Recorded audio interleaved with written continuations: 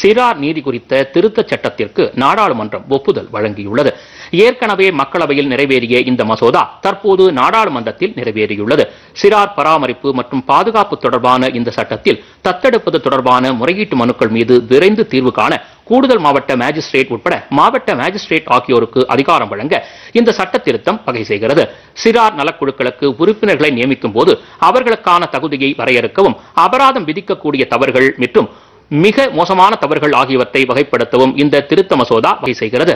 மாநிலங்களவையில் இன்று இம்மசோதா மீது நடைபெற்ற விவாதத்திற்கு பதிலளித்து பேசிய மகளிர் நலன் மற்றும் குழந்தைகள் மேம்பாட்டுத்துறை அமைச்சர் ஸ்மிருதி இரானி குழந்தைகளுக்கு ஆதரவும் நீதியும் தேவைப்படுவதாகவும் எனவே குழந்தைகள் நலக்குழுக்களை வலுப்படுத்த வேண்டியது அவசியம் என்றும் தெரிவித்தார். குழந்தைகளின் உரிமைகளை பாதுகாக்க மத்திய அரசு முன்னுரிமை அளிப்பதாகவும் அவர் கூறினார்.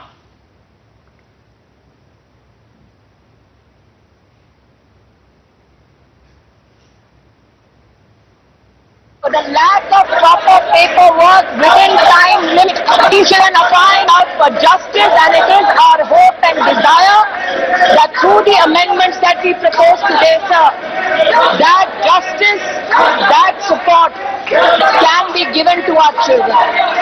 And that is why, sir, the amendments that we propose to this August House for the first time gives conditions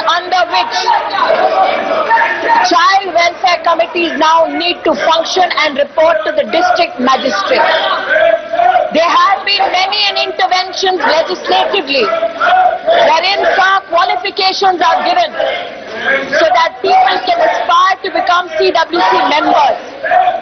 So with the blessings of this house, for the first time we are moving a proposal which seeks to disqualify certain individuals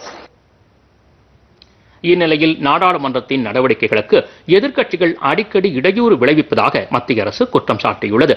அவையில் எதிர்க்கட்சி உறுப்பினர்கள் அவ்வப்போது அமளியில் ஈடுபடுவதற்கு கண்டனம் தெரிவித்த மத்திய தகவல் ஒலிபரப்புத்துறை அமைச்சர் அனுராக் தாக்கூர் அவையில் விவாதம் நடத்துவதற்கு அவர்கள் தயங்குவது ஏன் என்றும் வினவினார். மக்கள் பிரச்சினை பற்றி விவாதிப்பதற்காகவே நாடாளுமன்றம் கூட்டப்பட்டிருப்பதாகவும் அவர் தெரிவித்தார். எதிர்க்கட்சி உறுப்பினர்கள் கேள்வி கேட்க அனுமதிக்கப்படும் நிலையில் அவை நடவடிக்கைகளை முடக்க நினைப்பது ஏன் என்றும் அமைச்சர் அனுராக் தாக்கூர் கேள்வி எழுப்பினார்.